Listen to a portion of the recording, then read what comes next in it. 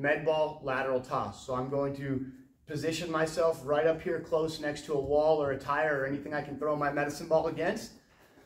I'm going to sit back, balancing on my butt, feet up off the ground, not crossing my feet. I'm going to take this medicine ball down to my outside hip and I'm going to throw it into my tire or my wall, catching it off the bounce, maintaining my balance on my butt here as I do my reps, and then spinning around, same position in nice and tight, going to the other side. Seated med ball lateral toss.